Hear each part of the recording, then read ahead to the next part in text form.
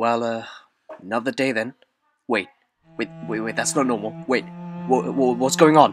Wait, I don't remember the traffic lights looking like that. My coffee shop wasn't like this before. Even the brands have changed. Why, why are the streets so colorful? It's been 30 days. I don't know how much I can handle. Have I woken up another dimension? Well, uh, it's time for another day. Wait, is everything back to normal? Wow, um, that was something.